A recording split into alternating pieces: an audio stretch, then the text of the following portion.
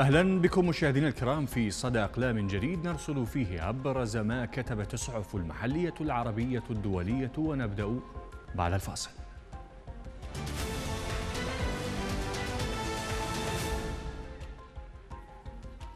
نبدأ وإياكم من كتابات. حيث جاء هذا المقال توزعت الأرزاق على النحو التالي. لأمريكا حق النقد ولإسرائيل حق الانقضاض وللعرب المسلمين حق الأنقاض. كما يصفها الشاعر العراقي أحمد مطر. لم يحصل العراق وشعبه سوى على الأنقاض وجثث, وجثث أبنائه التي مدت فوقها أنابيب النفط لتوفر الدفء لمن كانوا السبب في خرابه وتدميره. هكذا كتب سمير داوود حنوش في مقال نشره موقع كتابات. مشاهد الأنقاض وصور الاحتلال القاتمة والفساد وتدمير بلد وحضارة وإبادة الشعب ولا زالوا يتحدثون عن السيادة. فأي وقاحة واستخفاف بالعقول حين يصفون هذه السيادة؟ وهم الذين يحجون إلى مقر السفارة لتقديم فروض الطاعة والولاء وتلقي النصيحة من أصغر موظف يعمل في مقرها. منذ أول سفير حطت أقدامه أرض العراق وهو جون نيغروبونتي عام 2003 وبعده محاولات السفير زلماي خليل زادة من خلال وضع وصايته أو بصماته في الدستور العراقي الذي كتب عام 2005 مع ما تضمن كل تلك الألغام التي وضعت في طريق النظام السياسي العراقي وما سببت من فوضى وتناحر واختلاف على بنوده. ما زالت منظومته السياسية تعاني من تبعاته حتى كتابة هذه السطور. قرر مجلس الشيوخ الأمريكي في آذار الماضي بتعيين السفيرة فوق العادة لبلادها في العراق ألينا رومانوفسكي يحمل الكثير من المعاني والرسائل التي تنوي الإدارة الأمريكية إيصالها من خلال هذه الموظفة التي عملت ضمن وكالة المخابرات الأمريكية CIA والسفيرة السابقة لدولة الكويت. فالمتعارف عليه في كل الأعراف الدبلوماسية والبروتوكولات والمواقف الدولية والمعاهدات وسياقات احترام إرادات الشعوب أن صلاحيات السفير تقتصر في إدارة شؤون بلاده ومواطنيه. في رحاب الدولة المضيفة وأن لا تتجاوز هذه الصلاحيات جدران السفارة أو الشارع الذي يجاور مبنى السفارة. لكن يبدو أن مفهوم السيادة لدى البعض من سياسة العراق ممن سمح أن تتجاوز صلاحيات السفير الحدود إلى أدق التفاصيل في النظام السياسي ومحاولات فرض الرأي والإرادة.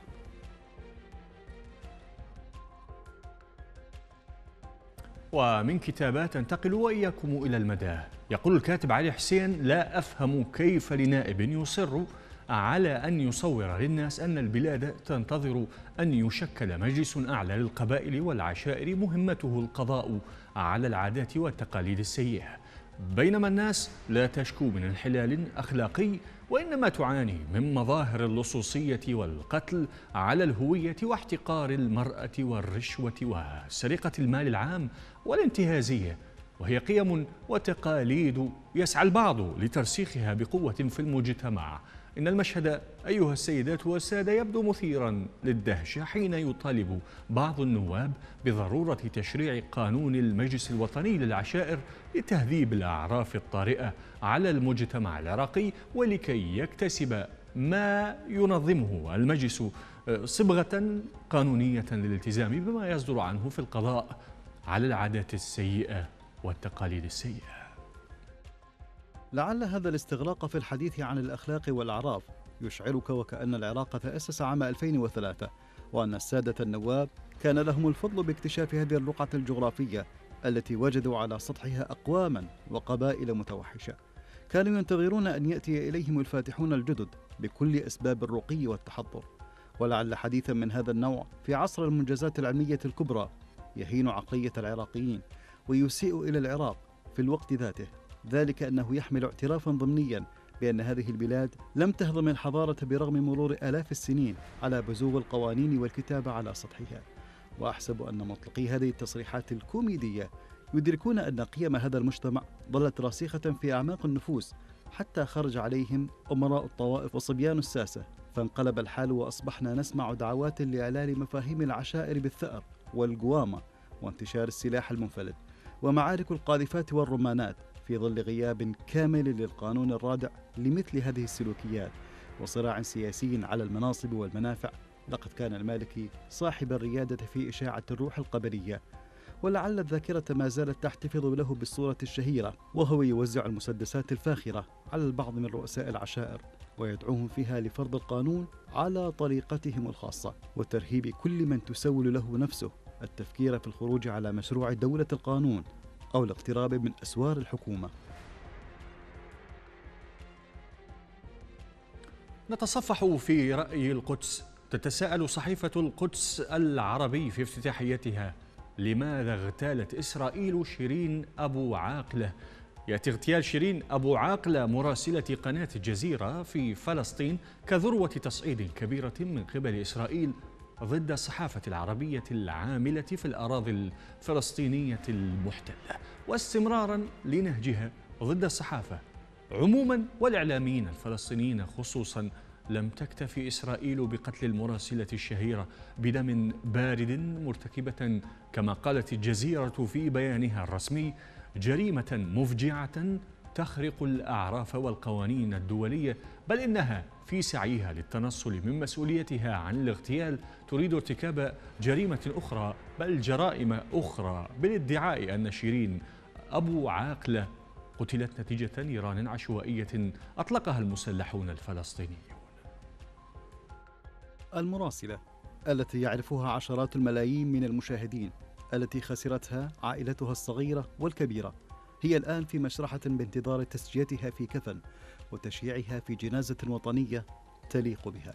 شيرين العارفة بألاعيب الإدارة الإسرائيلية والتي تعرضت لعدد لا يحصى من أشكال المراقبة ومحاولات الاعتقال والتضييق عليها من قبل الجنود والمستوطنين الإسرائيليين. تقوم هذه المرة وبطريقة فريدة من نوعها بإعداد تقريرها الأخير عن وفاتها شخصيا. ربما لم تتمكن شيرين والمنتج علي السمودي الذي كان قربها وأصيب بإطلاق النار عليه في الظهر. من التقاط صور عناصر الأمن الإسرائيليين الذين أطلقوا النار عليها. لكن تاريخها المهني الطويل حافل بالكثير من الشهادات التي يمكن استخدامها لكشف المجرمين الإسرائيليين الذين قتلوها وتفنيد خبث الدعاية الإسرائيلية اللئيمة التي تريد تحميل وزر اغتيالها للمدافعين عن مخيم جنين وعنها. تحدثت أبو عاقلة في مقابلة خاصة أجرتها معها الجزيرة عن أسباب استهداف سلطات جيش الاحتلال الإسرائيلي لها ولزملائها من الصحفيين وأشارت إلى أن تلك السلطات تقوم باستهدافهم عبر الادعاء أن وجودهم في الأمكنة التي يفترض أن يوجد فيها الصحفيون هي خرق أمني وهو ما يجعل توقيفهم واستهدافهم بالقتل كما حصل فعلا معها منعا لهذا الخرق الأمني. نطالع في الجارديان قال مراسل صحيفة الجارديان في الشرق الأوسط مارتن شولوف إن الصحفية الفلسطينية الراحلة شيرين أبو عاقلة كانت صوت الأحداث في فلسطين وقال إن آيات التقدير والثناء كللت للصحفية الفلسطينية العاملة في الجزيرة والتي كانت مرجعية في النزاع الإسرائيلي الفلسطيني. وقتلت اليوم الأربعاء برصاص جيش الاحتلال في مدينة جنين شمالي الضفة الغربية. وقال شولوف إن أبو عاقلة كانت مراقبة مخضرمة معروفة في كل أنحاء العالم العربي كصوت له مرجعيته بالمنطقة في أكثر قصة مثيرة للخلاف والجدل بحسب قوله.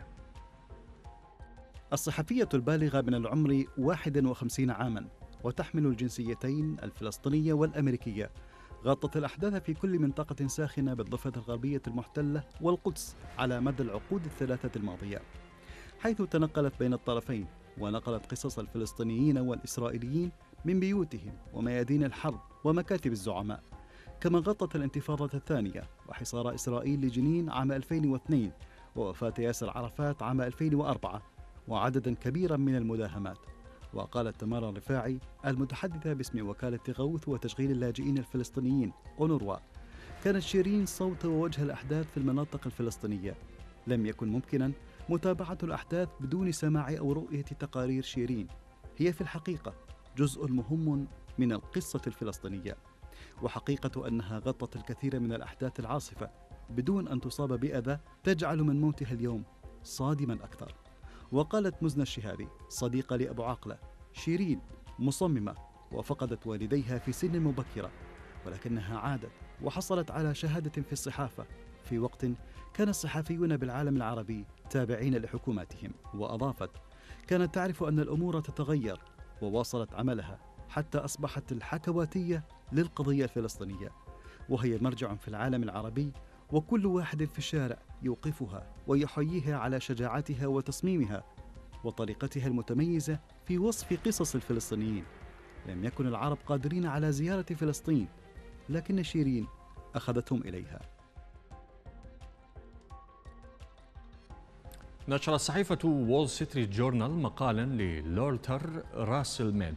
قال فيه أن أزمة أوكرانيا تعطي إدارة الرئيس جو بايدن فرصة لإعادة بناء تحالف حيوي للأمن القومي الأمريكي في الشرق الأوسط ويرى أن الرئيس فلاديمير بوتين لم يحقق نجاحا كبيرا ملحوظا خارج منظومة الاتحاد السوفيتي. السابق أكثر من نجاحه في الشرق الأوسط. في الوقت الذي يحسب فيه بوتين خسائر حربه الفاشلة في أوكرانيا فإنه ليس من الواضح جدا إن كان سيحافظ على مكاسبه التي حققها في المنطقة. بوتين استثمر أخطاء الأمريكيين مثل فشل الرئيس باراك أوباما بفرض تهديداته للنظام السوري حالة استخدام سلاح في الحرب الأهلية مما دفع روسيا للدخول إلى الشرق الأوسط والدفاع عن نظام بشار الأسد ضد معارضيه المحليين.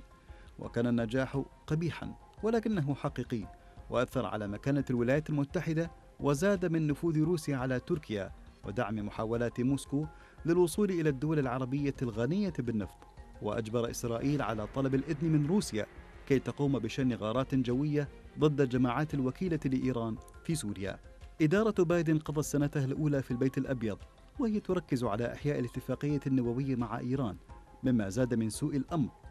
ولم تلتفت أمريكا إلى رفض دول الخليج وإسرائيل للاتفاقية وكونها جزءا من استراتيجية التوجه نحو آسيا.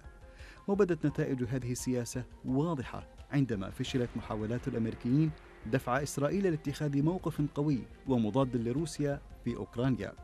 مثل محاولاتها الفاشلة لإقناع الدول العربية المنتجة للنفط زيادة معدلات إنتاجه لتقوية السياسة الأمريكية من أوكرانيا وتخفيض أسعاره بالتالي. وكان هذا في شباط فبراير حيث بدأت الحرب تترك آثارها على روسيا وتضر بها في الشرق الأوسط وبالمقارنة تساعد أمريكا. ووجه الضرر لروسيا نابع من عجز بوتين على سحق أوكرانيا بشكل يجعله أولا وأخيرا الطرف الخاسر. وهو ضعف يعتبر إثما لا يغتفر في سياسة الشرق الأوسط. وفي كل يوم تفشل فيه روسيا بتحقيق تقدم واضح وفي كل يوم يبدو فيه الرد الغربي قويا.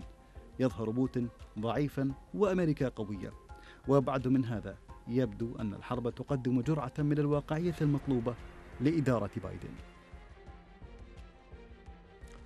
نشرت صحيفة نيويورك تايمز تقريرا أعده كل من مايكل شوارتز ومارك سانتورا ومايكل ليفنسون قالوا فيه جميعهم إن الواقع الجغرافي للحرب في أوكرانيا يشير إلى سيطرة الروس على معظم الشرق. وفي تقرير من مدينة بوكروفسك شرقي أوكرانيا قالوا فيه إن مضي ثلاثة أشهر تماما على حرب تخللها التخطيط المعيب والمعلومات الأمنية الاستخباراتية والبربرية والتدمير الوحشي إلا أن هذا أخفى ما حققته روسيا من مكاسب على الأرض. تسيطر روسيا على البحر الأسود المنفذ التجاري الوحيد لأوكرانيا على العالم. وأسهم الحصار الذي فرضته البحرية الروسية في حربان كييف من التجارة وفاقم من أزمة الغذاء العالمي ومهما يكن الأمر. فالسيطرة على دونباس والغزو الروسي الناجح لجنوب أوكرانيا وضمه شبه جزيرة القرم عام 2014 سيعطي بوتين ورقة ضغط مهمة في أي مفاوضات لوقف النزاع. هذا بالإضافة إلى العامل البحري الهام وسيطرة روسيا على البحر الأسود المنفذ التجاري الوحيد لأوكرانيا على العالم فقد أسهم الحصار الذي فرضته البحرية الروسية في حرمان كييف من التجارة وفاقم من أزمة الغذاء العالمي. وأشارت الصحيفة للشهادة التي قدمتها مديرة الاستخبارات الوطنية أفريل هينز أمام لجنة القوات المسلحة في مجلس الشيوخ. حذرت فيها من حرب طويلة يخطط لها بوتين وتحقيق السيطرة على أراضٍ بعيدة عن دونباس. بما في ذلك خلق جسر بري مع الشاطئ الأوكراني على البحر الأسود. إلا أن هينز حذرت من أن بوتين قد يواجه صعوبات في الحصول على هذه المكاسب بدون عملية تعبئة واسعة وتجنيد وهو أمر يتردد في عمله بالوقت الحالي. ونظرا لتناقض طموحات بوتين المناطقية مع قدراته العسكرية المحدودة فقد قالت هينز إن الحرب يمكن أن تدخل في الأشهر المقبلة مسارا من المحتمل أنه تصعيدي ومن الصعب التكهن به مما يزيد من احتمالات لجوء بوتين للخيار النووي.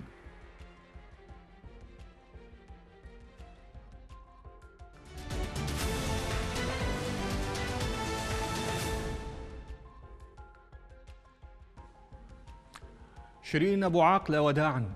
ودع الفنان السوري عزيز أسمر الصحفية الفلسطينية مراسلة قناة الجزيرة شيرين أبو عاقلة التي قتلت برصاص الاحتلال الإسرائيلي من خلال رسم صورتها على جدران أحد المباني أو ما يعرف بالغرافيتي. ومنذ نحو عامين تماما يواصل أسمر البالغ من العمر 35 عاما ابن مدينة بنش التابعة لمحافظة إدلب السورية رسم أبرز الأحداث في سوريا وفلسطين والعالم. على جدران المباني المدمرة جراء قصف القوات السورية التابعة للنظام.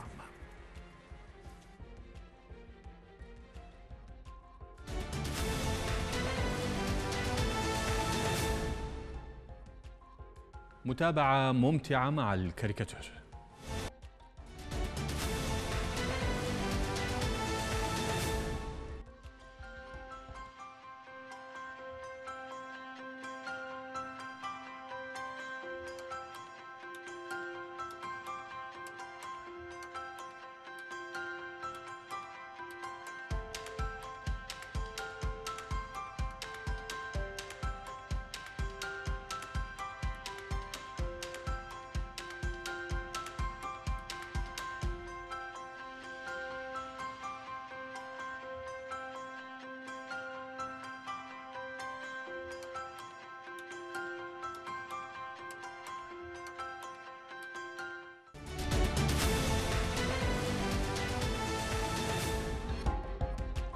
إلى اللقاء.